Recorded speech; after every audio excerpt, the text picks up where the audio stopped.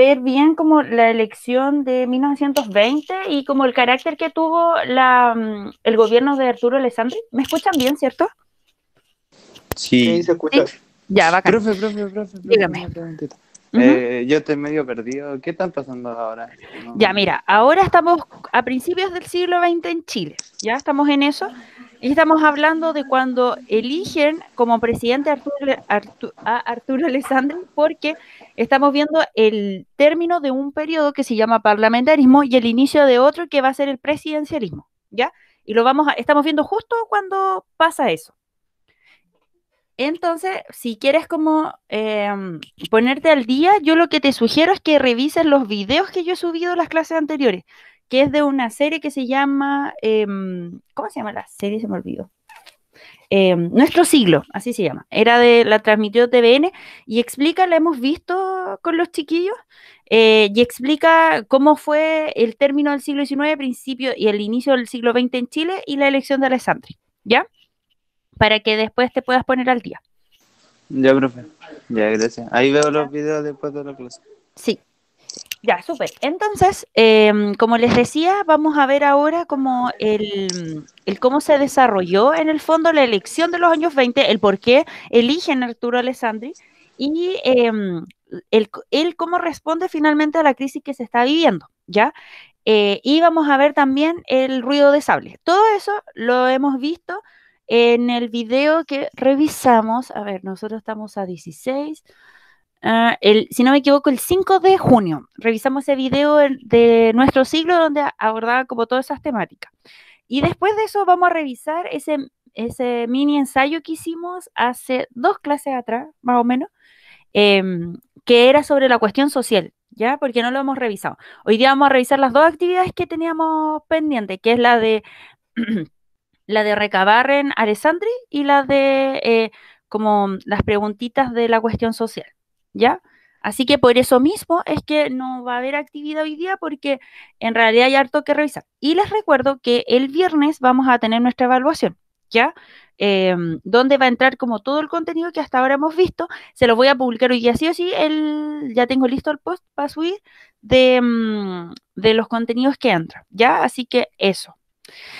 Eh, ya, partamos entonces. Bueno, así como un, eh, un resumen de lo último que hemos visto, es hacerles memoria de que los sectores populares estaban viviendo una crisis social que era de tipo de subsistencia, porque recuerden las malas viviendas, em, los malos sistemas como de higiene, de salubridad en general, em, y bueno, y que estaban generando un- un mul- multiplicidad como de, de enfermedades que estaban matando a la gente. Y por otro lado, había, y el de subsistencia, antes de eso, y el de subsistencia estaba dado también por lo laboral, ¿ya? Porque teníamos entonces malas viviendas que estaban como insalubres, eh, estábamos pasando hambre, se estaba desarrollando enfermedades contagiosas igual que hoy día, eh, y nos estábamos muriendo, y además de eso, en términos laborales no se estaba dando eh, ninguna como respuesta y además no había regulación. Por lo tanto, los trabajadores se encontraban totalmente desprotegidos. Entonces trabajaban muchas horas diarias, eh, estaban, eh, bueno, trabajaban muchas horas diarias, no tenían contrato laboral, trabajaban niños, mujeres, etcétera, ¿ya? Eh, situaciones súper complejas. Eh, de hecho, me acordé que el año pasado trabajamos cuestión social cuando hicimos como esa guía eh, sobre industrialización. Bueno, de ese periodo viene como esta crisis de subsistencia. Y por otro lado, tenemos además una crisis de representatividad, que esto también lo vimos cuando trabajamos parlamentarismo, cuando yo les hablé sobre cómo, cuáles eran los problemas que tenía el parlamentarismo en sí. En el fondo, eh, esto de la rotativa ministerial, del cohecho, de, eh, del cohecho, ¿qué más? Mm, de las, bueno, de las mismas acusaciones, de las leyes periódicas. Entonces, y, y no sé si se acuerdan que yo mostré una foto como donde era muy diferente el cómo se veía los parlamentarios vestidos de frac, así como muy franceses, y los sectores populares que estaban vestidos así como con la misma ropa con la que andaban prácticamente todos los días. Y, y con esa se trabajaba y con esa se, se, iba a la casa, como que no había, y eran como una camisa, un pantalón y ojotas, como que no es más. Entonces es mucha la diferencia entre uno y otro y por lo tanto esa diferencia no solo se da en las vestimentas, sino eh, se da como en los modos de vivir. Ya la clase alta, la burguesía o la oligarquía, mejor dicho, que son este grupo de la élite que tienen poder económico y político, es muy distinto a los sectores populares. Por lo tanto, los sectores populares no sentían que eh, la clase, la, oligarquía los estaba representando y que por lo tanto los parlamentarios que estaban eh, ejerciendo su rol no lo hacían en favor de ellos. Aparte, no sé si se acuerdan que los parlamentarios se demoraban años en aprobar leyes, o sea, había leyes sociales que se estaban tramitando en el Congreso por más de 10 años. Entonces, no había como, como, eh, no se creía en la clase política. Si se dan cuenta, es un diagnóstico bastante similar a lo que pasa hoy día. O sea, hoy día la gente vota eh, muy poco porque tampoco confía como en la clase política. De hecho, una de las explicaciones que hay del 18 de octubre es precisamente la desconfianza que la gente hoy día siente por los parlamentarios, por los políticos en general. Entonces, es como a mí me parece paradójico que de alguna manera hoy día estemos de, cierta forma repitiendo ciertas cosas, ciertos diagnósticos, ciertos malestares que estábamos viviendo hace un siglo atrás. O sea, es como extraño. De hecho, como estamos casi así, estamos a 100 años de lo que de la elección de Alessandri, porque él salió electo en 1920. Entonces, de verdad es como con los mismos diagnósticos, 100 años, 100 años después, creo que estamos, podemos hacer un paralelo no tan diferente a lo que estaba pasando en esta época. Bueno, a diferencia de lo que está pasando hoy día, en esta época, este problema se le llamó cuestión social y a esto fue que había que darle solución, ¿ya? Entonces hubo distintas voces que trataron de, de decir, ya bueno, ¿cómo resolvemos esto? Y es allí donde aparece las elecciones de 1920 como un momento crucial, 100 años antes de lo que estamos viviendo hoy día. Y en la imagen tenemos a don Arturo Alessandri Palma, el león de Tarapaca. ¿ya?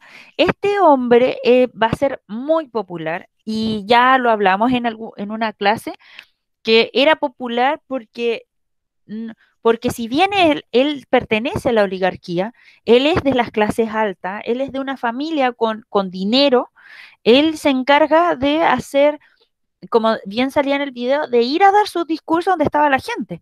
Él le habla a la gente y les dice mi chusma querida, ¿ya? Él no era como, no tenía intenciones como de, de, encerrarse en un teatro con pura gente de la élite. A él le interesa, porque a él le interesa llegar a la gente porque sabe que tiene problemas sociales. Y si no, lo recordamos con también el último video que vimos sobre quién era Alessandri, el que hablaba la Verónica Valdivia, decía, o sea, él es muy coherente, él sabe que la gente tiene problemas y hay que solucionarlos. Él hizo su tesis sobre... Eh, sobre eh, los problemas de la vivienda obrera. Él es abogado, entonces tiene muy claro como los problemas que hoy día de los diagnósticos que hay sobre la gente. Entonces, eh, llega como diferente y, es distinto, es muy distinto su modo de hacer eh, política. Bueno, ¿qué discursos tiene su discurso que lo hacen tremendamente popular? Por una parte, él es anti-oligarca, ¿ya? Su discurso habla de que en realidad la oligarquía que, repito, es este grupo de personas que tiene poder político y económico, que tiene tierras en, la, en los fondos, que además es propietario de minas, que eh, probablemente también tiene ciertos almacenes en Valparaíso, eh, y está desarrollando aquí en Santiago algún tipo de industria, ya, esa es la oligarquía. Y esa oligarquía que además se dedica a trabajar en política. ¿Ya? Entonces, Alessandri dice, no, yo no soy de esos. ¿Ya? Yo, yo seré, eh, yo, yo tendré dinero, pero yo no soy de la oligarquía, yo soy un intelectual que entiende lo que a la gente le sucede, Y por lo tanto, su discurso se, se en el fondo se, eh, se basa en decir que la oligarquía es la culpable del problema que hoy día tenemos, de que es la oligarquía la que no sabe entender lo que sucede con la gente. Entonces, em, esa es como la principal eh, como propuesta que eh, tiene Alessandri y, eh, y por lo tanto, espérenme, es que estoy buscando una cosita, a ver si lo encuentro en internet. ya. Em, ya, entonces, lo que hace como em, Alessandri finalmente es decir, ya, los culpables aquí son la oligarquía y, eh, y por lo tanto tenemos que eh, eh, alejarlos y por lo tanto superar ese modelo, ¿ya? Entonces eso es lo primero, es reconocer como, como posicionar al enemigo y decir es la oligarquía hoy día la que tiene sumida a la gente en problemática.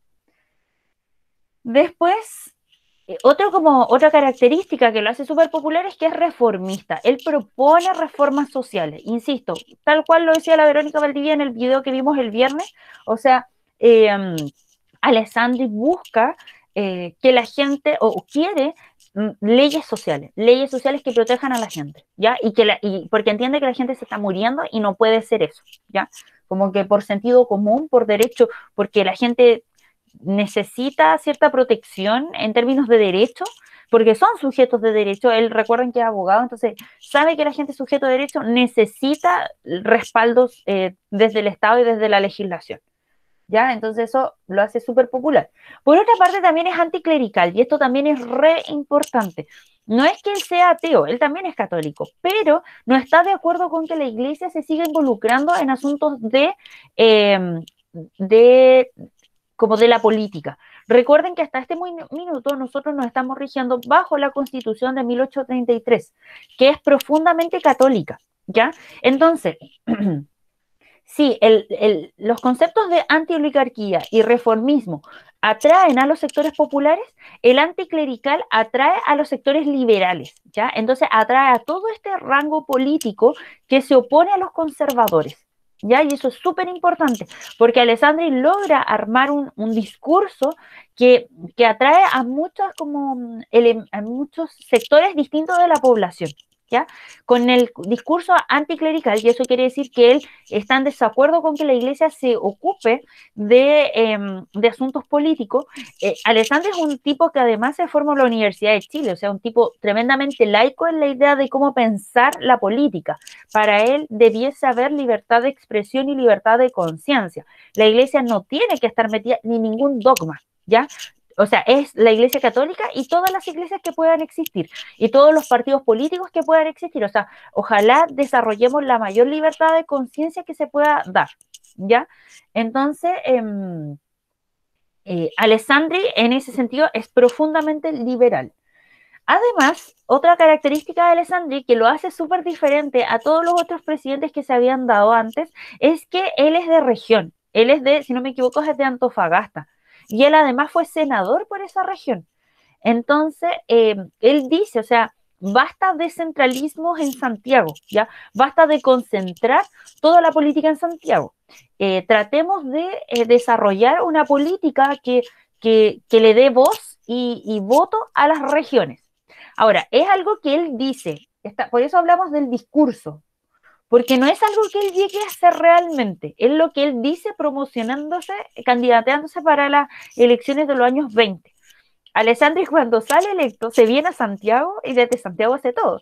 Y adiós regiones, ya como que su discurso, o sea, integra las regiones, pero las regiones que eran importantes económicamente, pero Aysén no es relevante para Alessandri, ¿ya? la región de los lagos tampoco, o sea, como que para él son relevantes ciertos como foco económico y Santiago, ¿ya? Entonces, por eso hablo como del discurso. Cuando él se candidateaba, cuando él hablaba así como en este podio que lo vemos, él decía que era relevante hacer una nueva política donde estuviese integrada como las regiones. Y finalmente, y esto es lo más importante, su discurso es integracionista. ¿Qué quiere decir eso? Que todos los elementos que vimos anteriormente se daban en, un mismo discurso. Cuando él hablaba a las masas, eh, integraba todo lo anterior. Por lo tanto, tenía un discurso que no solo le hablaba a los sectores populares, sino que le hablaba a los liberales, lo hablaba a la gente de región, como que de verdad logró hablar, hablarle a la masa, ¿ya? Así como nosotros veíamos eh, antes de entrar en cuarentena, los elementos de masa que tenían eh, los... Eh, por ejemplo, que tenía Mussolini o Hitler, de hablarle a un grupo homogéneo de personas donde no sabemos si son mujeres, hombres, pobres, ricos, nada, eh, algo así se imagina Alessandri, ¿ya? Que le está hablando, por eso habla de la chusma querida, que es esta masa que, que, que no, no, no me interesa saber tanto el detalle de ello. Yo le hablo al chileno, al chileno que, realmente hoy día siente que no está eh, siendo representado por los políticos y que además está sufriendo eh, porque no tiene leyes sociales. A ellos yo les hablo. Entonces, por eso es integracionista, porque su discurso no solo se radica en un grupo, sino que abarca como a la generalidad del chileno. ¿Se entiende? ¿Tienen alguna duda con respecto a los elementos del discurso alessandrista? Sí, se entiende. ¿Sí? ¿Alguien tiene alguna duda? Dije la ¿Por qué? Porque... Me salí sin querer. no importa. Chiquillo, ¿alguien tiene alguna duda?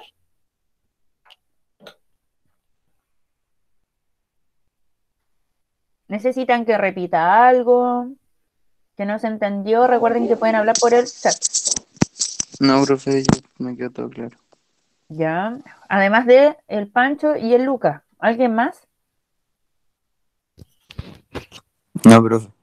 Ya. Gracias, Bastián. Entonces, eh, continuemos. Espérenme, voy a, traer mi tecito.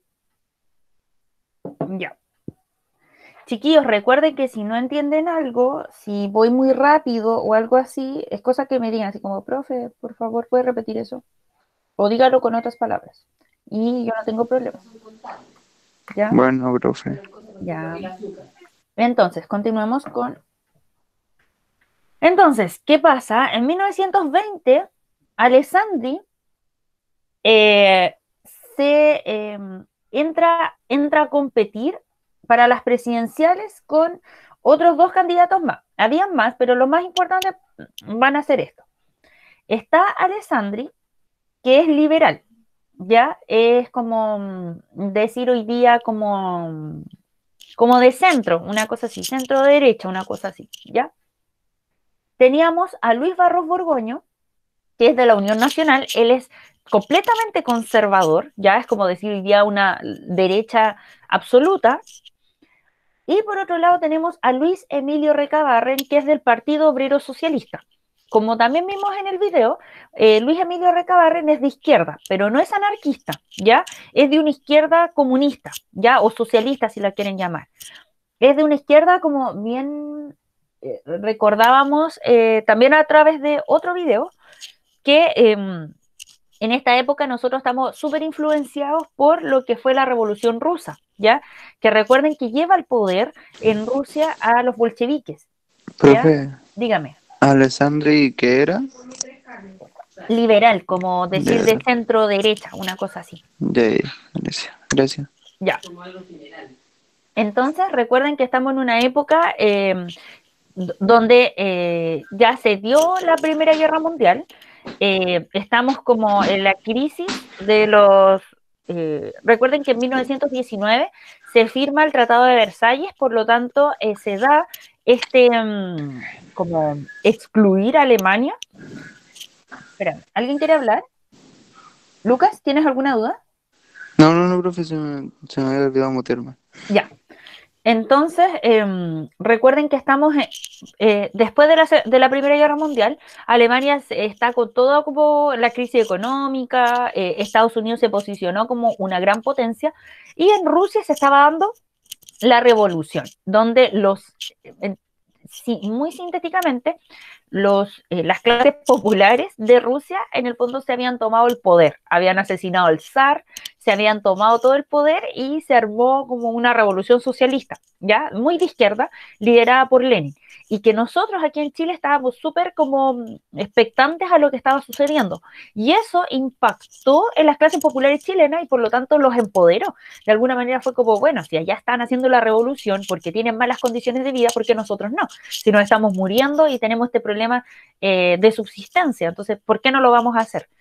Y me acuerdo muy bien que fue la Javi la que mencionó como este aspecto de que en Rusia se estaba dando como esta situación em, de, revolución y que estaba impactando. Y Luis Emilio Recabarren, así como dato, eh, fue uno, un obrero que él fue senador, él participa como desde, lo, desde, el, desde el ala, parlamentaria. Y Luis Emilio Recabarren em, él sabía leer y escribir, ya no era analfabeto, pero como ustedes recordarán, la mayoría de la población en esta época tiene unos niveles de analfabetismo súper altos. Por lo tanto, em, lo que hacía Luis Emilio Recabarren era, él además sabía otros idiomas, sabía francés, si no me equivoco, e inglés. Entonces lo que hacía era, eh, tomaba los diarios y se ponía como en un podio y se ponía a leerle a, los trabajadores sobre lo que estaba aconteciendo en otros lugares y cómo se estaban organizando los trabajadores de otros lugares. Entonces era una forma de mantenerse informados, porque recuerden que no hay teles, eh, los diarios son súper elitistas, solo para quienes saben leer y escribir. Eh, la radio recién se está dando y el cine también, pues van a ser como medios de comunicación muy incipientes en esta época. Pues. Entonces, él en el norte eh, hacía eso, Luis Emilio. Y como dato, les cuento que Luis Emilio Recabarren se suicidó. Años después, se suicida, creo que, espérenme, les busco el tiro. Luis Emilio Recabarren. Eh, muere en Bachungale, en 1924, cuatro años después de esta elección, él decide suicidarse. A mí eso me parece como muy intrigante de que alguien tan involucrado y un referente tan importante como de la, de la organización obrera en Chile haya tomado como esa decisión. Me da la impresión de que, bueno, cuando veamos como qué es lo que está pasando en esa época, quizás mucha desesperanza, no sé, pero es como curioso que, que se haya suicidado. Bueno, entonces, em, como les decía, estos son los candidatos que, con los cuales Alessandri se, em, se enfrenta. Y bueno, Alessandri arrasa en esa elección, le va súper bien. Así que es elegido candidato. Al que le va, al peor que le va es a Luis Barros Borgoño. ¿ya? Eh, pero Luis Barros Borgoño tampoco era tan mal candidato. Si en realidad eran todos buenos en esta época. Em, ya. Dicho eso, Em, ah, bueno, como, retomando un poquito lo que salía en el video em, de eh, nuestra historia, Alessandri arrasa las elecciones, la gente está recontenta, pero resulta de que eran tantos los problemas que tenía el parlamentarismo em, que eh, Alessandri no consigue llevar adelante ninguna reforma social. Si bien él tenía toda la intención de que eh, se ampliasen las garantías eh, constitucionales para la gente, eso quiere decir que haya más leyes sociales, el Parlamento no aprueba ninguna y por lo tanto se empieza a dar lo que vemos en la imagen, que son manifestaciones. Esta imagen, como bien aparece, aquí en la imagen, o sea, aquí, aquí en el extremo es de 1907, ya no es de la época, no es de 1920, porque hay poco registro fotográfico sobre las manifestaciones que se estaban dando, ya hay muy pocas. Entonces, em, y en general, como, como de la época, hay poco registro. Em, entonces, em, como que es difícil encontrar y poner, y, en buena resolución además. Entonces, em, eh, eh, eh, estoy buscando a ver si encuentro Chile. Estoy buscando una cosita en internet. Que hubo la huelga del hambre, pero creo que es de 1918. Bueno, no, no hay ninguna imagen buena. Bueno, la cosa es que, volviendo, Alessandri se encuentra con que la gente molesta con que no se aprobaran lo que él, él estaba prometiendo, salió a las calles a manifestarse, ¿ya? y salió a las calles a decirle, oye Alessandri, y súper chanta, ¿y qué onda con mis leyes sociales que me prometiste? O sea, último de, de chanta, o sea, no vuelvo a confiar jamás en ti, ¿ya? Entonces se da una crisis gigantesca, una crisis social súper importante. Y bueno, como yo les, como yo les planteé al principio, estaba la pregunta de cómo resolvemos la crisis. Y aquí es donde vamos a pasar a la, primera revisión de la actividad anterior, que fue la de Recabarre y eh, Alessandri, porque en la época en que Alessandri era ya presidente, Recabarren había salido electo em, parlamentario, ya diputado si no me equivoco. Y ambos proponían formas diferentes de cómo enfrentar los problemas que se estaban dando eh, en el ámbito laboral. Alessandri propone el famoso Código del Trabajo. ¿Qué características tiene el Código del Trabajo? Lo que busca es, em, es llevar adelante reformas. Recuerden que ese además es parte de su discurso, ¿ya? Llevar adelante reformas que eh, modifiquen las condiciones de vida de la gente, ¿ya? En este caso, lo que él quería era regular las condiciones laborales de los trabajadores, ¿ya? Porque em, recuerden que si tenemos obreros como en buenas condiciones de vida, van a vivir más también, ¿ya? Y por lo tanto van a tener mejor productividad, ¿ya? Eso es súper importante. Nosotros, y eso hay que entenderlo como de tal cual es, y, quizás algo que, debimos haber abordado el año pasado cuando trabajamos las, como esta idea del Estado-Nación, cuando vimos como los nacionalismos, las unificaciones y las revoluciones del 40, de 1848, etcétera, que yo hablo así como deberíamos haberlo abordado el año pasado y probablemente ninguno de ustedes se acuerda de ese contenido. En fin, em, la idea de generar como leyes sociales es que la gente no muera, porque si muere no tenemos mano de obra que desarrolle en buenas condiciones eh, como la productividad de un país. Si, si, eso es la gente, o sea, la gente que trabaja es un, medio de producción, por lo tanto, eh, la ley social va apuntada a eso, a mejores condiciones de vida, una porque sabemos que son sujetos de derecho, evidentemente, pero otra porque necesitamos que... Eh, den lo mejor de sí a la hora de trabajar. Y eso no implica como explotar los 15 horas diarias, o sea, reduzcamos la jornada laboral porque así la gente va a poder descansar en su casa, va a poder tener vida familiar y cuando llegue el trabajo va a llegar mucho más contenta. O sea, como por cosas lógicas necesitamos hacer eso. Además, lo que, em, lo que Alessandri propone con este código del trabajo es que el Estado sea quien proteja los derechos laborales. Recuerden que yo les hice la pregunta como qué rol cumple el Estado y el Estado cuál es el rol que va a cumplir. Bueno, de aplicar el código del trabajo, de cuidar de que se cumpla y por lo tanto como tomar las medidas necesarias para, em, en caso que no se llegue a cumplir con el código del trabajo. Pero lo que él en verdad también hace es moderar Recuerden que él lo que buscaba, hablaba de la armonía. Eh, lo que busca Alessandra es que el Estado logre ser como el árbitro entre los conflictos que se puedan generar entre los trabajadores y los empleadores. Como bien aparece aquí, entre el capital y el trabajo. Entendido capital como los, empresarios y los trabajadores, y el trabajo como los trabajadores, ¿ya? Entonces, em, cuando Alessandra en el fondo lo que dice es como, ya, si hay un problema, supongamos, un trabajador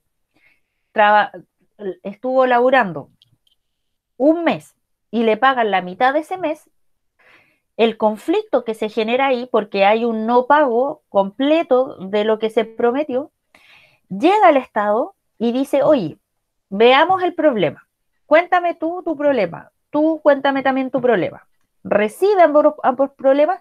¿Y cómo resuelve eso? Bueno, implementando el código del trabajo. Entonces los asiste, media y los asiste. Le dice, mira, en realidad, empleador, tú estuviste en lo, incorrecto. O le dice al trabajador, ¿sabe qué? Sí, usted supuestamente trabajó, pero se pasó durmiendo la mitad del mes, porque tenemos estas y estas pruebas para decir que usted no, no hizo efectivamente su pega. Entonces, sí, él va resolviendo. ¿Para qué?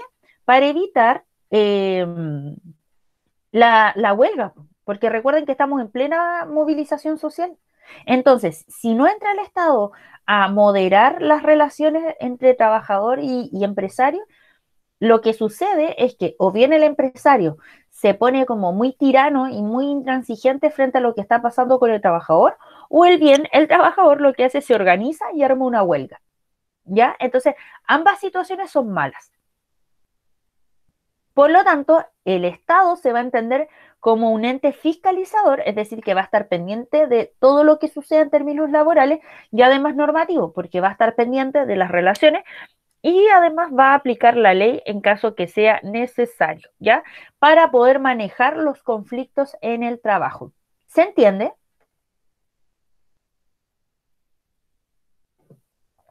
Chiquillo, chiquilla. Yo sí entiendo. Sí, profe. ¿Y los demás? Sí, mis...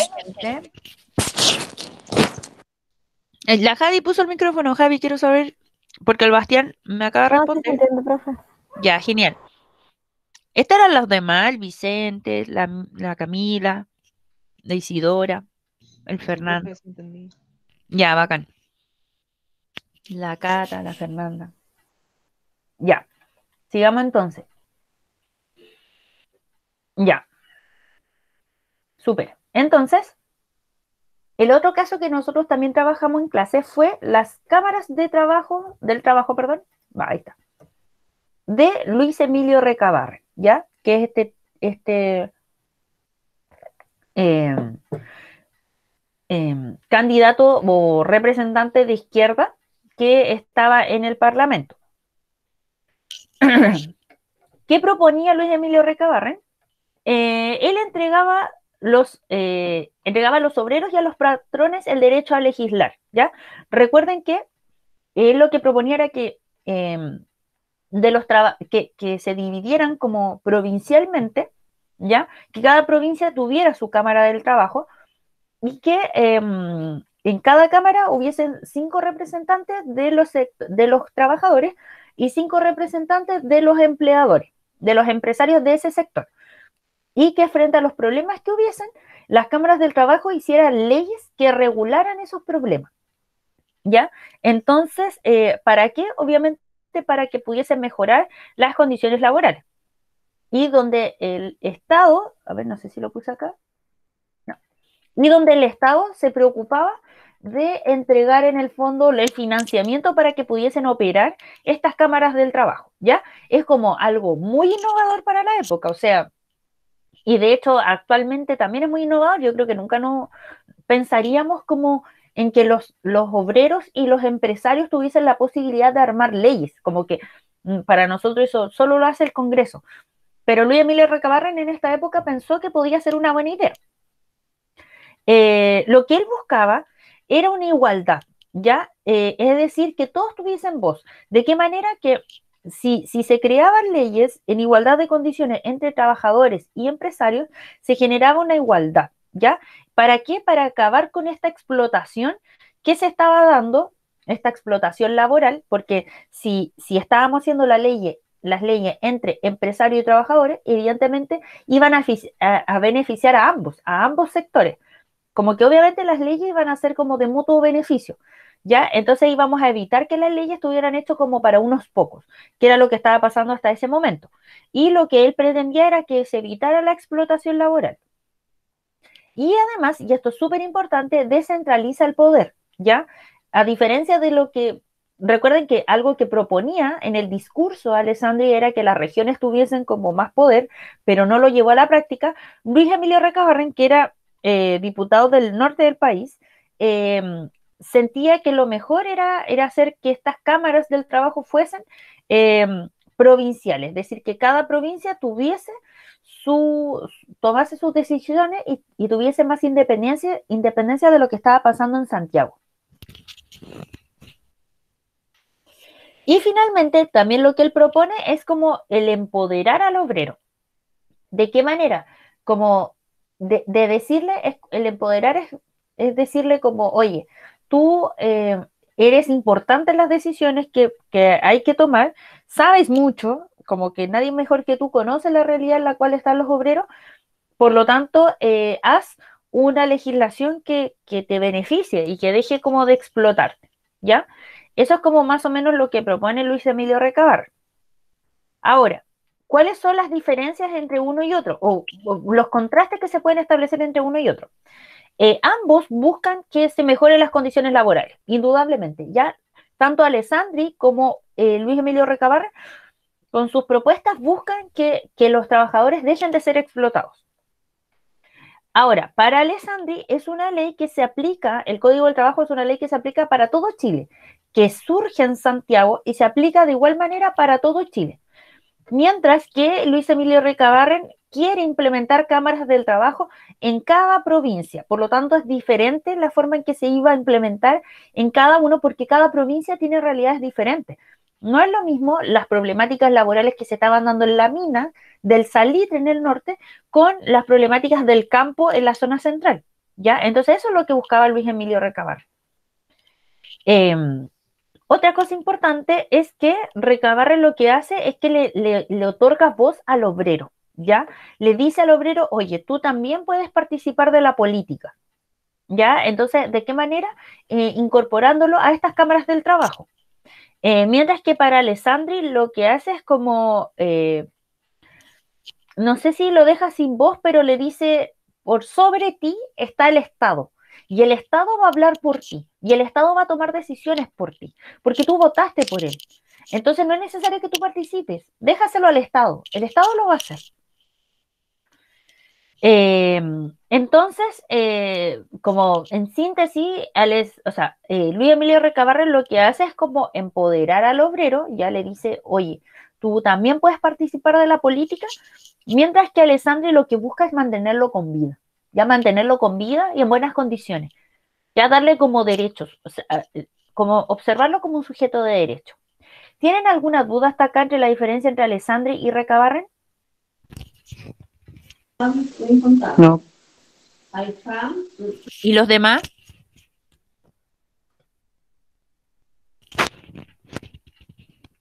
Yo no, profe. Ya. ¿Y alguien más? Chiquillos, chiquillas. No, no, no están. No, no, tengo duda. Ya, súper. Entonces sigamos.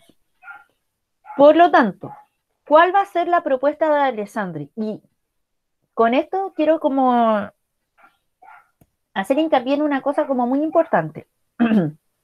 Alessandri no solo es importante porque em, en el fondo es el punto de quiebre del parlamentarismo y, cambia la forma en que se hace, en que, o, es como el presidente que, que, permite el paso del parlamentarismo al presidencialismo. No solo es importante por eso, Alessandri es importante porque lleva adelante una idea de, de cómo hacer política que yo diría se mantiene hasta el día de hoy.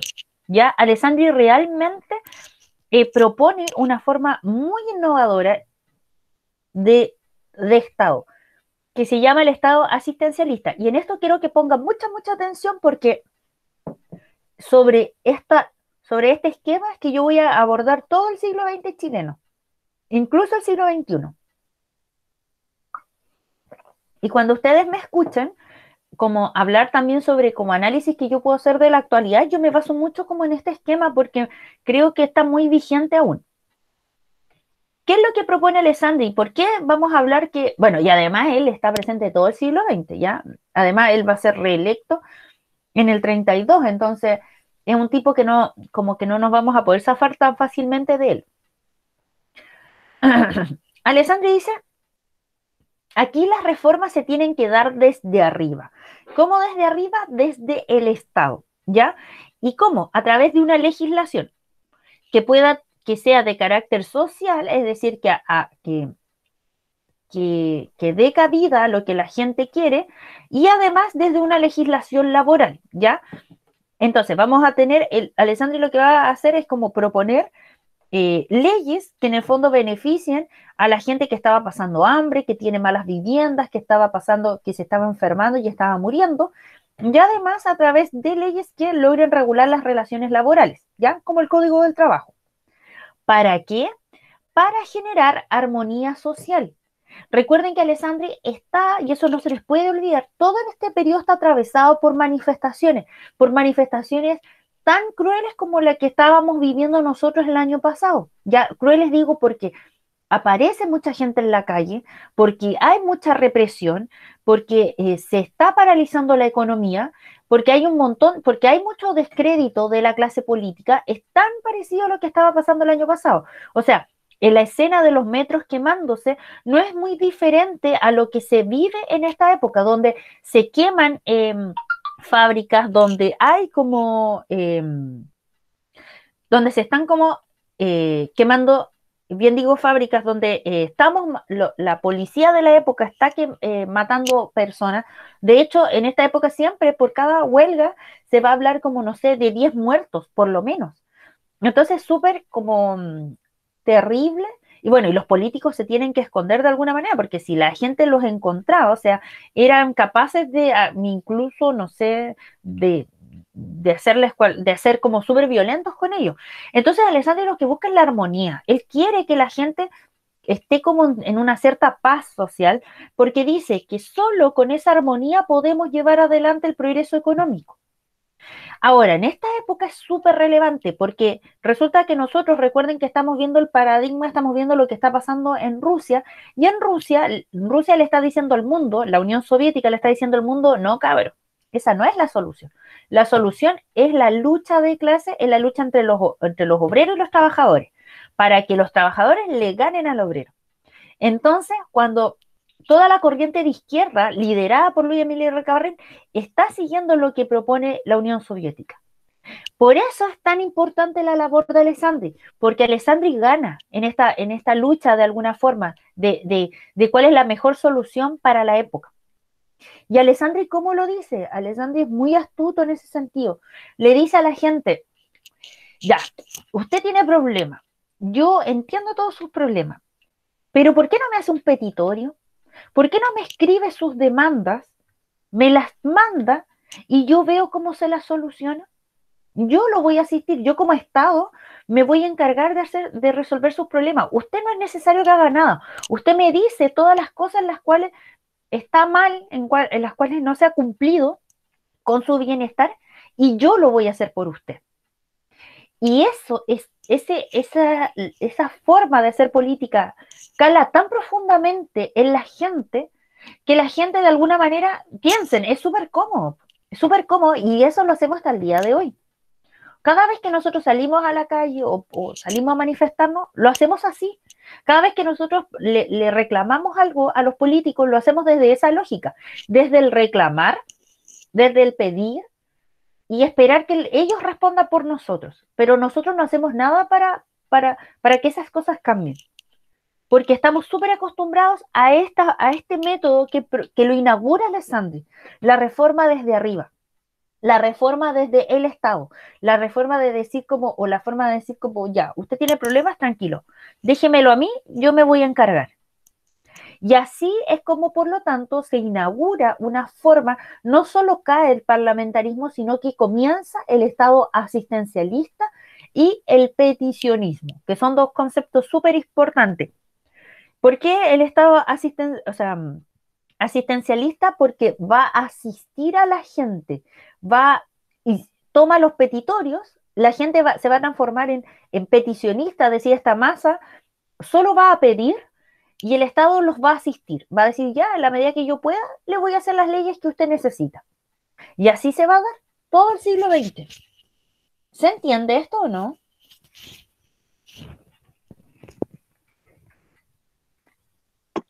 Semis. ¿Sí? ¿Seguro los demás? Sí, profe. Si yo les pregunto en una eventual prueba, ¿Qué es el Estado asistencialista? ¿Ustedes lo podrían definir?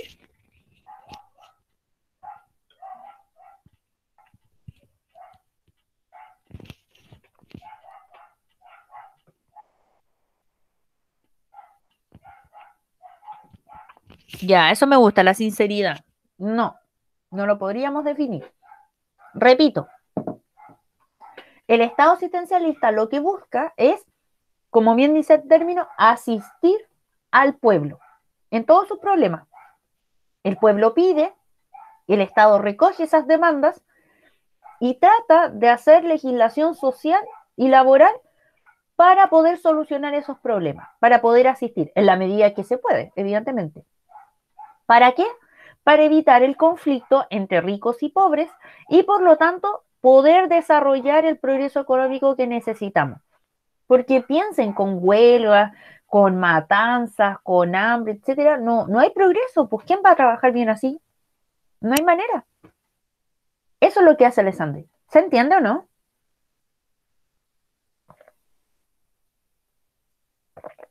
Ya. Sí.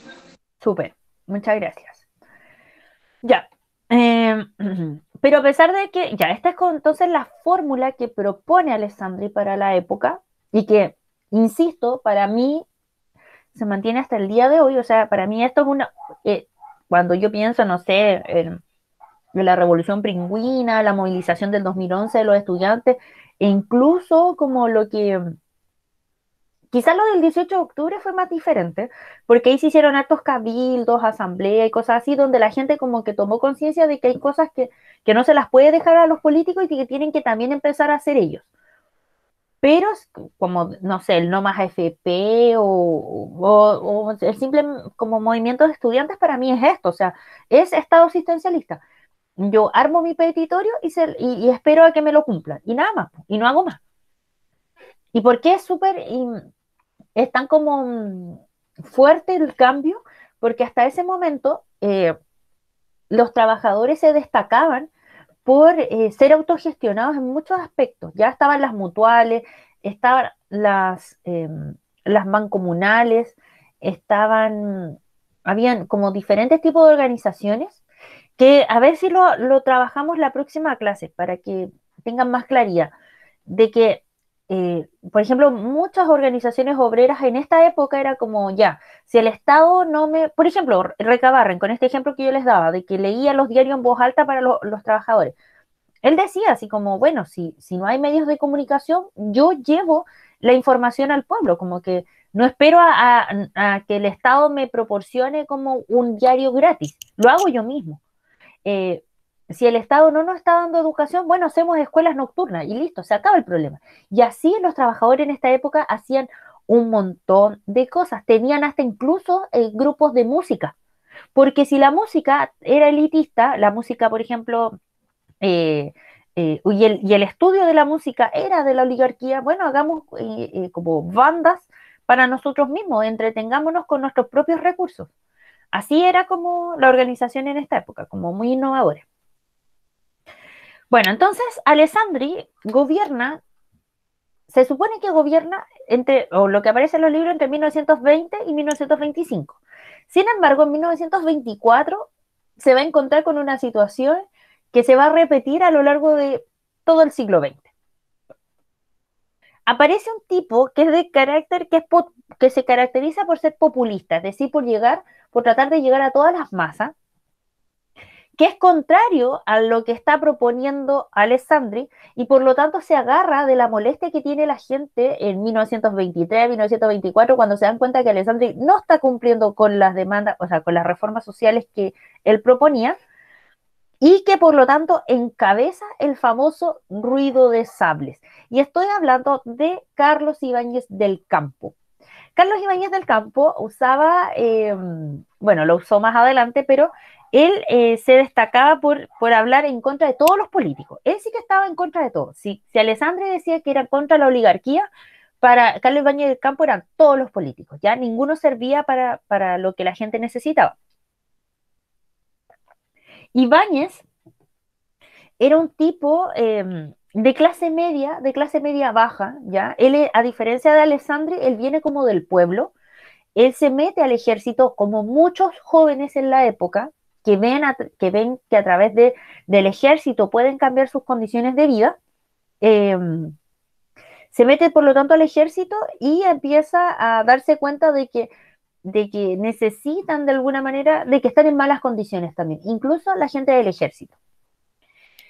Y el ruido de sables em, es un evento en el cual em, los, eh, los militares jóvenes van al Congreso con sus sables, que son una especie de bastones, y empiezan a, los empiezan a golpear en el, en el suelo y empiezan a, como para exigir, bueno, obviamente para intimidar a todo el Congreso y exigirles que aprobaran las leyes sociales, ¿ya?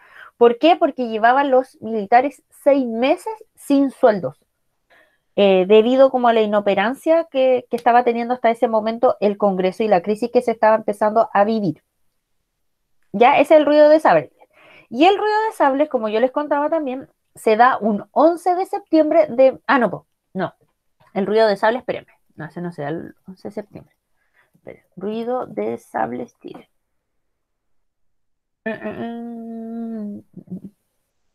Se da el 3 de septiembre de 1924.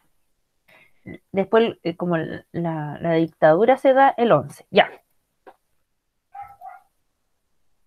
Entonces, ¿qué es lo que estaba pasando? Había una oficialidad joven del ejército. Esto simplemente quiere decir que son los soldados rasos, ¿ya? Que, eh, es decir, como los más jovencitos que estaban entrando al ejército, que tenían problemática en lo profesional, porque el ejército estaba siendo súper como, como eh, burocrático. Por ejemplo, alguien joven para poder subir como en las en la jerarquía militar necesitaba como o ser hijo de alguien que ya tuviese un rango mayor, o bien esperar toda su vida a que los superiores se fueran muriendo y, y ellos pudiesen alcanzar algún rango. Entonces era súper difícil hacer carrera militar, o sea, prácticamente imposible. Alguien que llegaba de soldado raso moría siendo soldado raso, ¿ya? Y, y, y piensen que alguien que se dedica a temas militares le dedica, o sea, toda su vida y toda como su... tienen conceptos de lealtad, de disciplina, como súper arraigados, por lo tanto igual eh, parte como de la retribución que te hace el ejército es de alguna manera y, darte como ciertos cargos e ir como que tú avances como en la jerarquía militar. Ya es una forma de retribuir todo el trabajo y todo el sacrificio que hacen los soldados por el ejército. Sin embargo, en esta época era súper complicado y, los puestos más altos estaban reservados a militares más viejos y de clases más altas, ¿ya? Mientras que la oficialidad joven, el soldado raso, estaba compuesto por los sectores populares. Entonces, si entraba un soldado raso que pertenecía a la oligarquía, era probable que solo él alcanzara a los, como las jerarquías más altas del ejército, mientras que los otros se quedaban pegados en lo bajo, ¿ya? Y eso era tremendamente injusto porque probablemente eran eran los soldados rasos los que más se sacrificaban por la institución. Y además también tenían problemas de corte económico, porque, eh, como yo les decía, hace seis meses que no se les estaba pagando el sueldo. Entonces, eh, y yo les, les repito que esta oficialidad joven son jóvenes que pertenecen a los sectores populares, por lo tanto, muchos de ellos son como los trabajadores de sus casas o la alternativa de sus familias de poder salir adelante. Por lo tanto, que a ellos no les paguen en seis meses es gravísimo, ¿ya? ¿Esto qué provoca? Que, lo, que esta oficialidad joven, que estos militares jóvenes, eh, presentaran como se insubordinaran y desobedecieran a las jerarquías más altas. ¿Por qué? Porque cuando ellos deciden manifestarse en el Congreso, no le piden permiso a, los como a las autoridades como militares ni a las autoridades políticas. Hay como una doble como desobediencia. Recuerden que en temas militares, tú si estás en un rango más bajo, le tienes que obedecer siempre al que está al rango más alto que ti. ¿Ya? Siempre a tu general tú le debes como lealtad y respeto y disciplina. Ya no puedes hacer lo que a ti se te, se te venga en mente. Tienes que eh, respetar como lo que te dice la institución. Y, y, eso no solo como desde la institución como militar, sino que también política. O sea, los, los militares tampoco podían pasar por encima del presidente ni de los parlamentarios. Sin embargo, con el ruido de sables, los jóvenes militares se pasan por alto y, destruyen de alguna manera la, disciplina que hasta ahora habían desarrollado frente a la autoridad política, es decir, el presidente y los parlamentarios, y frente a la autoridad militar, que es los comandantes en jefe em, y muchas otras como los generales, eh, etcétera. ¿Se entiende esto o no?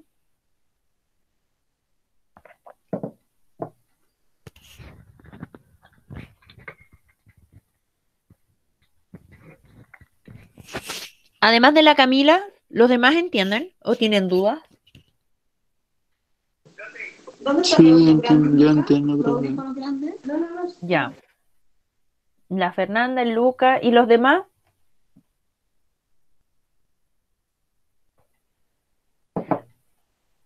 ¿Van bien Sí, o, yo o estoy voy bien. rápido?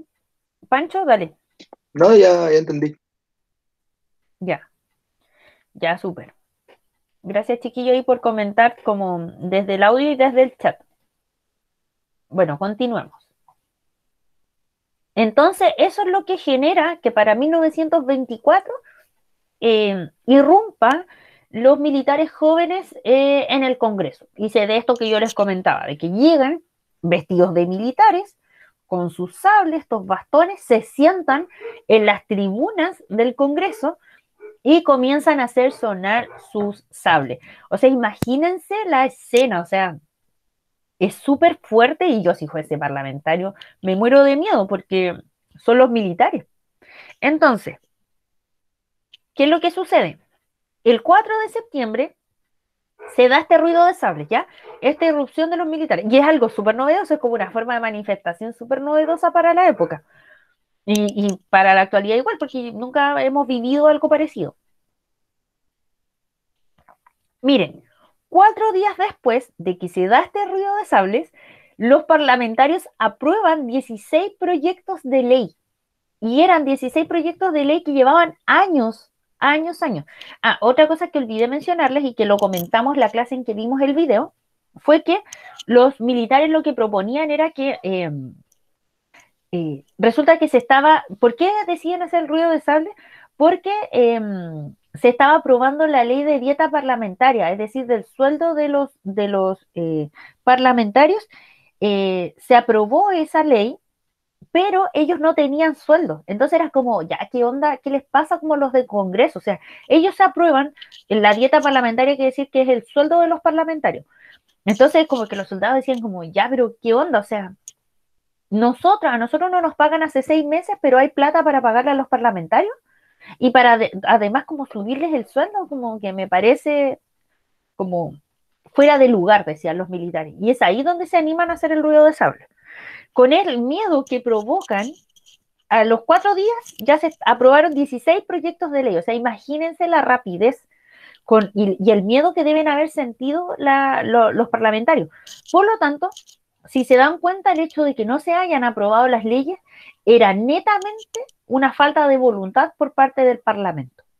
Pero esto le quita poder a Alessandri, porque Alessandri, que era el presidente y que había prometido leyes sociales, no lo había conseguido. Y resulta que los militares, liderados por Carlos Ibáñez del Campo, irrumpen en el Parlamento y en cuatro días tienen aprobadas leyes sociales. Entonces ahí la gente dice, ya, ¿quién es aquí como el bueno de la película? ¿Alessandri, que me propone leyes y no las está cumpliendo? ¿O Ibáñez, que parece ser que es más como valiente y en, en cuatro días me tiene aprobadas 16 leyes? Entonces ahí es donde empieza la, donde Alessandri pierde mucho poder porque Ibáñez demuestra que él puede dirigir de alguna forma como un grupo joven de, de militares y hacer, cosas, y hacer las cosas más rápido. Y el 11 de septiembre de 1924 se lleva adelante una toma de poder por parte de los militares, ¿ya? Eh, Alessandri, a ver, no sé si lo puse acá. Sí, Alessandri, eh, si no me equivoco, el día anterior renuncia a, su puesto de presidente y se va al exilio, ya sabiendo ya lo que está, no, si no me equivoco, el mismo 11 de septiembre. El 11 de septiembre, Alessandri renuncia, decide como decir, ya, esto no da para más, yo me voy de, de, o sea, yo ya no voy a ser más presidente y además me voy a ir del país. Y se va al exilio y se va a Buenos Aires, ¿ya? ¿Y quiénes quedan en el poder? Los militares. Y van a quedar en el poder inicialmente los militares jóvenes.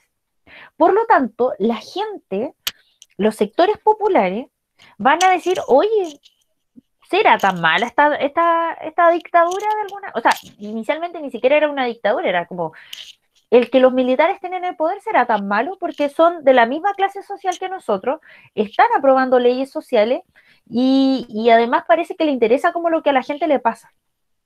Entonces, algo que diferencia a otras como a otros golpes de Estado es que eh, este 11 de septiembre de 1924 es que eh, va a estar de alguna manera como respaldado por la gente. Hay mucha gente que va a estar de acuerdo con que Alessandri se vaya y asuman el poder los militares, porque los militares parece, parece que resuelven más rápido las cosas. Y la gente se está muriendo, recuérdenlo. Ya estamos con un problema de subsistencia, o sea, la gente se está muriendo y no necesitamos como esperar más años para para ver que la gente se siga muriendo y que, y por lo tanto, si, sigamos esperando leyes sociales. Las necesitamos ahora y los militares parece ser que lo hacen rápido. Y es ahí cuando se empieza a levantar la imagen de, de, Ibáñez como que lo hace bien, como que parece que le, funciona. Entre medio, esta, em, esta intervención, bueno, dura un año, esta eh, intervención, y em, como yo les decía, parte con, los militares jóvenes eh, dirigiendo el poder. Sin embargo, al ratito se dan cuenta que no tienen ni una experiencia, que no saben cómo dirigir un país, que es súper complicado ser presidentes de alguna manera y que necesitan eh, ayuda, porque en verdad era súper difícil eh, dirigir el país ¿Y en qué, a quién le piden ayuda? A los oficiales más viejos, a estos oficiales que son, que son oligarcas, ¿ya? Eh, que son de la clase alta. Y estos, estos militares más viejitos, a estos generales y todos que, que, que pasan a tomar el poder, el control del país, dicen, ya, loco, están, estamos puro leseando acá, hay que llamar a Alessandri, si es el único que puede como como, resolver, porque se encontraban perdidos, no sabían qué hacer. Se habían tomado el poder, pero después decían, ya, ¿y qué hacemos? Como, ¿Para qué hacemos esto? Y en esa lógica es que Alessandri, por su lado, se, se, fue a Buenos Aires y después se tomó un, un barco y se fue a Europa. Y recorrió muchos países recorrió mucho, mucho, mucho. Se fue a Francia, estuvo en Italia, conoció como distintas realidades y se dice que en ese, en ese viaje de un año que, se, que hizo Alessandri, pensó la nueva constitución. Ahí tomó idea y dijo, ya, la nueva constitución, y él era abogado además, pues entonces dijo, ya, la nueva constitución tiene que tener ciertas características. Entonces después le llega un telegrama de, de Chile donde le cuentan, señora Alessandri, los militares jóvenes se han ido, hemos tomado el poder los más viejos y nosotros le pedimos por favor que, que se venga. Ya, devuélvase, usted lo necesitamos. Usted es el único que nos puede sacar de este desorden en el cual estamos y al cual nos llevaron los militares más jóvenes. Y por lo tanto, Alessandri vuelve en marzo de 1925 y retoma su, en calidad de presidente y ahí se queda en el poder un año más. Y ahí lo vamos a dejar como hasta acá la historia de Alessandri, porque la próxima clase, después de la evaluación, vamos a trabajar eh, la constitución del 25. Ya vamos a ver cómo, cómo Alessandri, eh, después del retorno, después de su viaje por Europa, eh, cree que se puede solucionar los problemas de la gente. Y él cree que los problemas de la gente se puede solucionar a través de una nueva constitución. Si se fijan, es muy parecido a lo que estamos viviendo hoy día. Ya hoy día no hay, por suerte, intervención de los militares. Pero también hoy día creemos que la solución se va a dar a través de la constitución. O sea, en octubre de este año se supone que hay un plebiscito para saber si, si, si cambiamos o no la constitución. O sea, hay muchos elementos que son muy parecidos. Insisto, 100 años antes estábamos viviendo una situación muy similar a la de hoy día. Entonces, ojo ahí como con cómo se repiten las cosas y cómo es importante también em, aprender historia, evidentemente. Ya, chiquillos, chiquillas, ¿tienen alguna duda hasta acá? ¿Algún comentario? Cualquier cosa.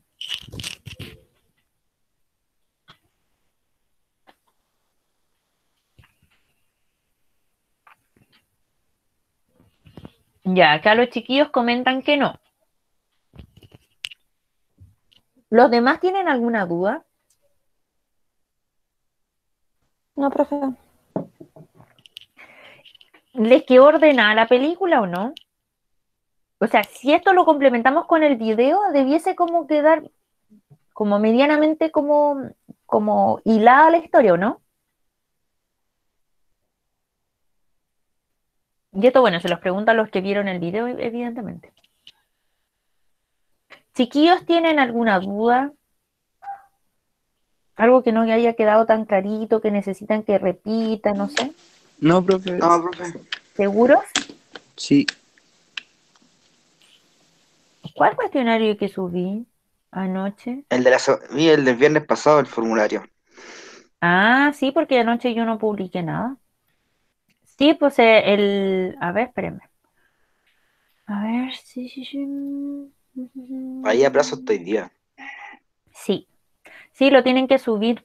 Se supone que ustedes después de la fecha de, de entrega oficial pueden seguir subiendo trabajos, ¿ya?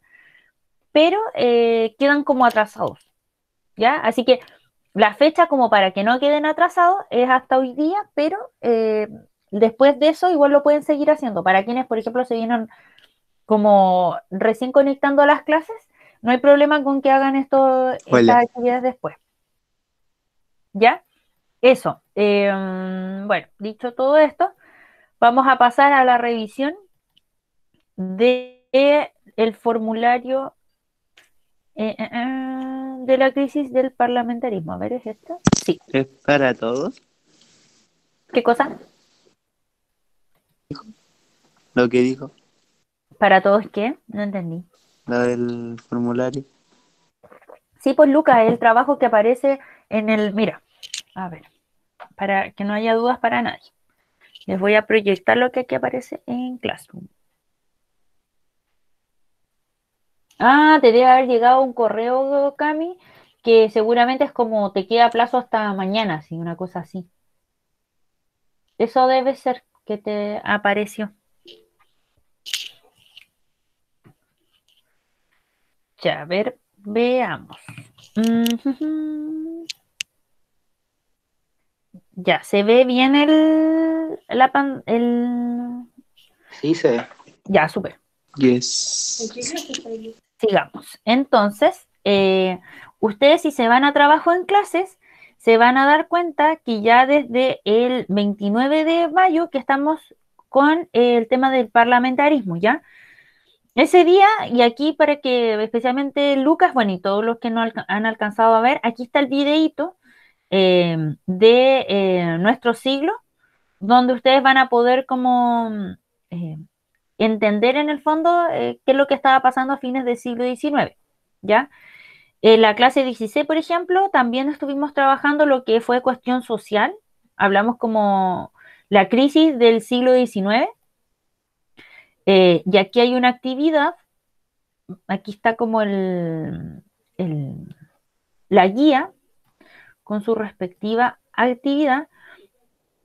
Y bueno, la clase 17 también tiene un video del mismo, la clase, miren, la clase 15, aquí me falta poner el nombre. Bueno, la clase 15 corresponde a qué es lo que estaba pasando a fines del siglo XIX, principios del XX, y la clase 17 es como el gobierno de Alessandri. Ya eso lo vimos el, viernes 5 de junio. Después del 18, eh, vimos lo que era la cuestión social, la crisis de representatividad y todo ello. Eh, y la actividad de ese día la tienen que se sube a través de Classroom, ¿ya? Y que es la que vamos a revisar hoy día, que fue esta, mm, eh, este formulario, ¿ya? Este como mini ensayo. El 12 em, fue eh, el, el trabajo con fuentes, con, de aquí va. Fue con el video de Alessandri, em, Recabarren, y eh, tenían que leer eh, textos. Y eso también me lo tienen que, esto se hace en, en el formulario y se sube solo, como que no es necesario que descarguen nada y me lo envíen. Em, eso, eso son como las actividades que, que hemos tenido en el último tiempo y a la Cami lo que le llegó fue un correo de esta actividad. Ya, entonces hoy día lo que vamos a hacer es revisar las respuestas de tuve cero puntos, dice la Cami. Chiquillo, lo importante es em, que hagan la actividad, ¿ya? No importa cómo, cuánto puntaje tengan, sino que lo importante es que hagan la actividad porque recuerden que esto de alguna manera, como les he repetido en reiteradas ocasiones, va a tener, va a impactar como, obviamente cuando regresemos como a la normalidad, una, eh, como repercusiones positivas, ¿ya? Ya, hasta ahora dice que yo tengo 12 respuestas. 12 personas han hecho la actividad. Eh, y vamos a ver aquellas que tienen como un mayor mm, nivel como de, ya vamos a revisar brevemente las tres preguntas que tienen mayor error.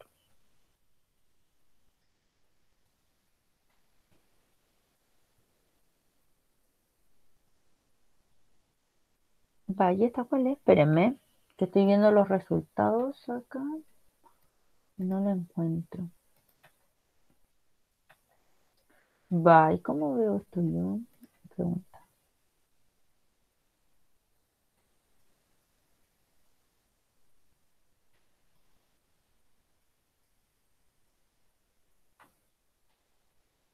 Ay, no entiendo acá. Espérenme un cachito.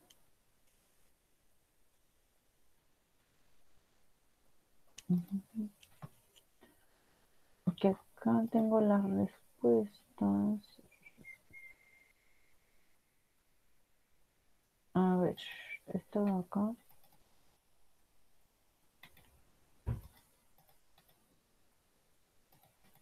Mm, mm, mm, mm.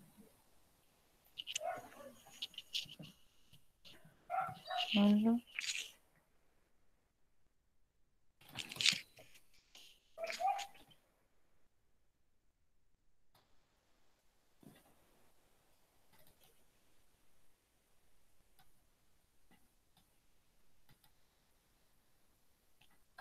Ya, acá encontré una de las preguntas que tiene el mayor número de error. Acá está.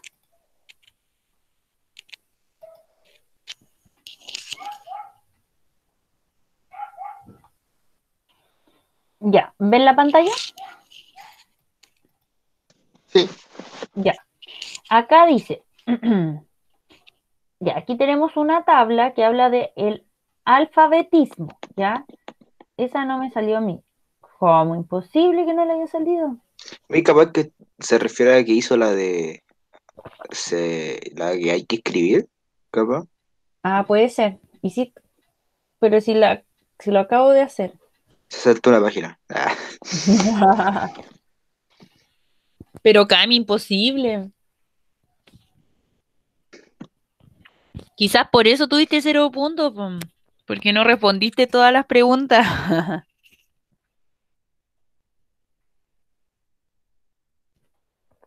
Ya, sigamos. Entonces, em, aquí la tabla habla de el alfabetismo, es decir, de cuánta gente sabe leer y escribir, ¿ya? A eso se refiere el alfabetismo.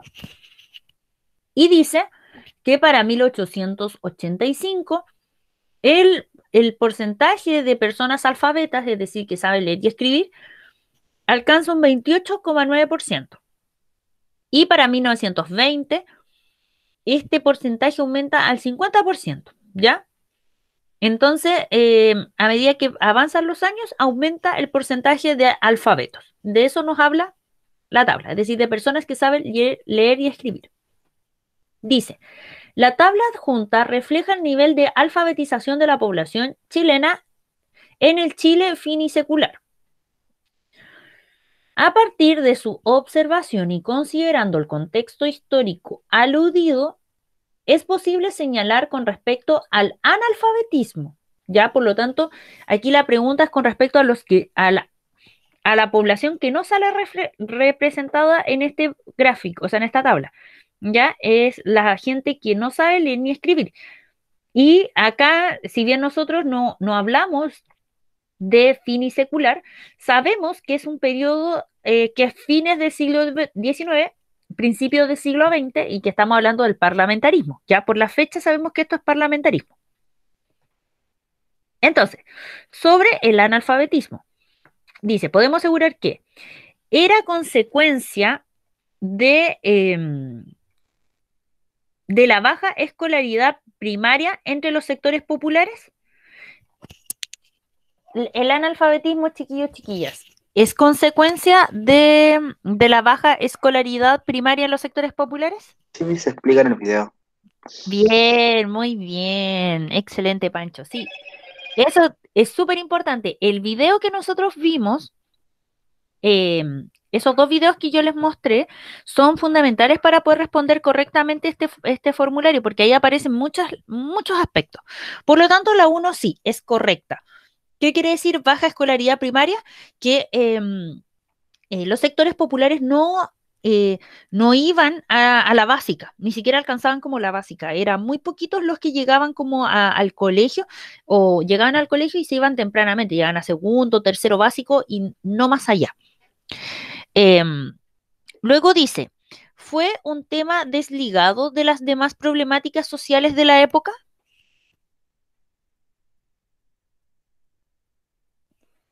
Fue un tema... No, porque lo que habló recién es que se te está presente como uno de los mayores problemas de, de la época.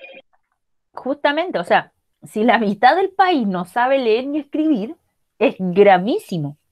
Y eso se suma a los problemas que tienen como los sectores populares dentro de lo que es la cuestión social. Y yo les comentaba que, que por ejemplo, eh, recabar en una de las formas de, de porque el, el estar, el ser analfabeto, por ejemplo, te impedía el acceso a la información, ¿ya? Porque si tú no sabías leer, no podías leer un diario, y por lo tanto no sabías qué es lo que estaba pasando en el país, ni en el mundo. Por lo tanto, por eso, por ejemplo, recabar re, leía estos diarios a la gente, porque era una forma de combatir de alguna manera eh, ese analfabetismo y si no estaban informados, de acuerdo a él, tampoco iban a poder como tomar decisiones sobre cómo, cómo, cómo organizarse y cómo impactar como en el gobierno.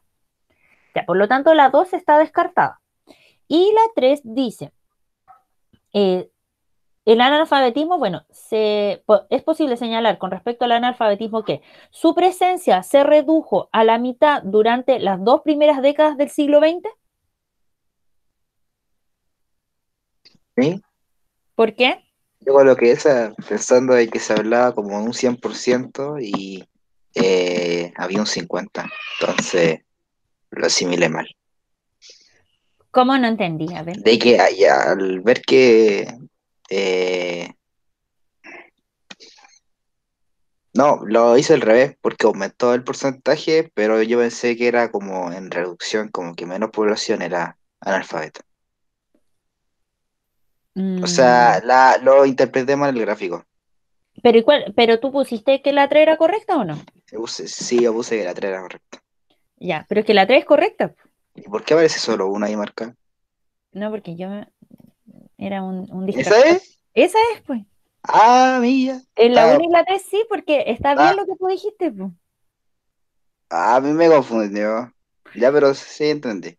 Sí, aquí eh, eh, había que estar súper concentrado porque igual es una... Y po- por, eso, ojo, o sea, si no, no han hecho esta, esta evaluación, eh, háganla como con tiempo, porque hay juego de palabras que en el fondo te pueden confundir rápidamente y te pueden llevar a error.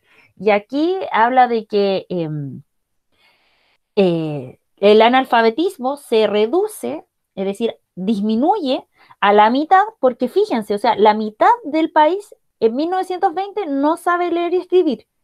Durante las dos primeras décadas del siglo XX, las décadas son periodos de tiempo de 10 años. Por lo tanto, las dos primeras décadas de el- del siglo XX son los 20 primeros años. Si se fijan, para 1920, un 50% de la población no sabe leer y escribir. Entonces es correcta. ¿Ven? Entonces solo la 1 y la 3 eran correctas. ¿Mm? Pero parece que sí dice esto. Eran dos distintas, No, ¿no? no es solo esta. Que yo me acuerdo de haber hecho esto, se lo juro. En mi mente.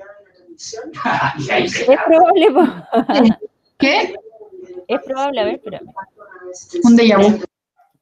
Sí, sí, es muy probable. Yo no dudo de que, de que de seguro lo hiciste y de que, a ver, espérame. Déjame probar si es que. Bueno, sí, pues parece que tú lo entregaste, pues Cami. ¿De verdad? Ajá. Mira, aquí me parece que lo entregó el Vicente, la Cami, el Nico, la Rafa, el Fernando, la Isidora y el Pancho. Y el Luca. ¿También lo entregaste, Lucas? No. No, ya.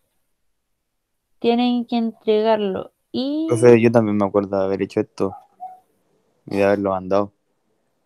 de verdad, porque me dice, ah, ya, es que sí, esto es que es muy extraña esta cuestión del Classroom, porque resulta que acá me aparece como que si yo veo la tarea asignada, me aparece que siete personas la entregaron, pero si yo me voy a las respuestas, me aparece que hay 12 respuestas, pues, por lo tanto ahí se suma la del Bastián, supongo que la Javi también la hizo, la, eh, quizás la Fernanda también lo, lo- desarrolló, el, Vi- el Vicente no sé si lo mencioné, ah sí, el Vicente aparece, quizás la Cata también lo subió, entonces sí, acá es muy extraño, no sé por qué, no- tú no apareces en el Classroom, o sea, así como tarea entregada, pero si me voy al formulario sí aparece que lo hiciste, así que tranqui, Miss, dígame. también hay personas que están exentas del Classroom, como que no pueden entrar, entonces capaz que sea por la onda de que no entran en el Classroom, pero hacen igual el formulario. Y por Ah, eso no aparecen. Quizás, puede ser. ¿Quién sabe? Los misterios de la vida. No sé, no sabría responder a eso. Ya, sigamos con la otra que tiene muchos incorrectas. ¿Escuchan a mi perro? Muy bullicioso. Esta es esta.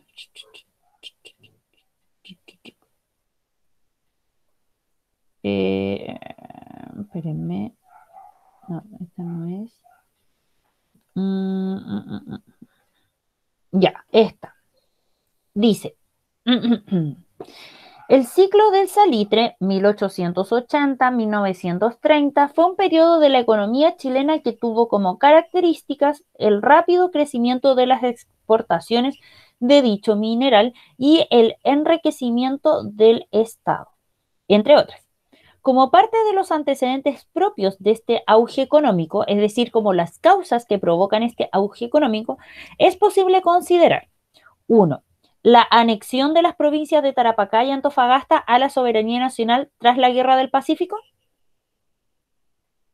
¿Qué dicen de esta alternativa?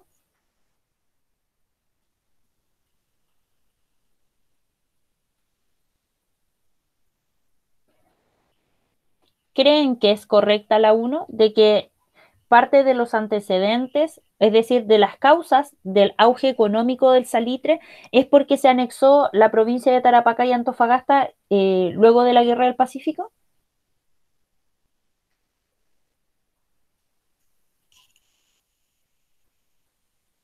Sí, porque debido a eso se produce el auge.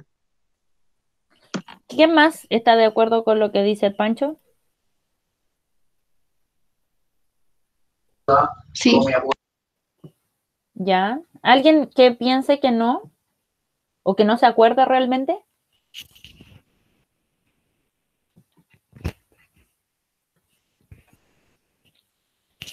¿Yo qué? Cami. ¿Que no te acuerdas o, o que no estás tan segura? Ah, Si el Pancho dice que sí, entonces sí. Bueno, sí, el Pancho está en lo correcto. Recuerden, esto lo vimos en clase, yo hice una clase de Guerra del Pacífico. Y recuerden que em, la Guerra del Pacífico... ¿Cómo? Profe, ¿Qué?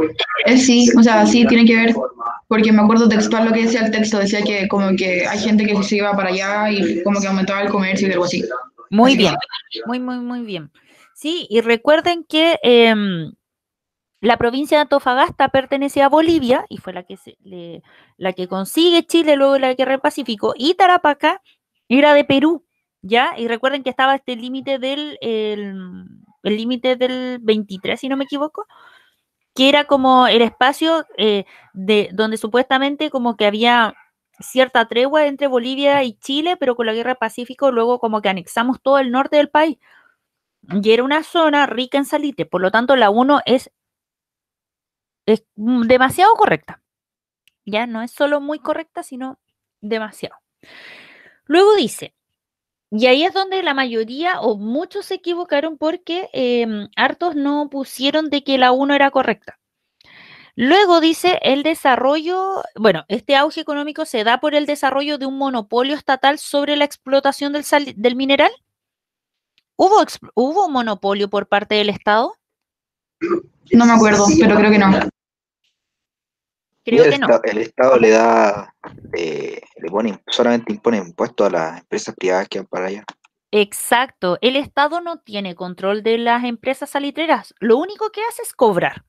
Es el cajero, nada más. No hace más cosas. El Estado, si tuviese monopolio, sería que el Estado fuese dueño de todas las empresas salitreras. Y eso no sucedió en, en lo más mínimo. Por lo tanto, es incorrecta esa alternativa. ¿Ya? Y luego dice la aplicación de impuestos por parte del Estado a las empresas productoras de salitres. Bueno, el Pancho lo acaba de, de señalar. Es correcto que el Estado lo que hace es que todos los que sacan salitre, el Estado les cobra un impuesto a la hora que sacan el salitre del país. Por lo tanto, la respuesta correcta era la 1 y la 3. ¿Ya? Eso, chiquillos y chiquillas, lo vamos a dejar hasta acá. Nos quedó una pendiente que es una de las que más tiene error, pero ya por la hora lo vamos a dejar hasta acá. No sé si tienen alguna duda, algo que comentar.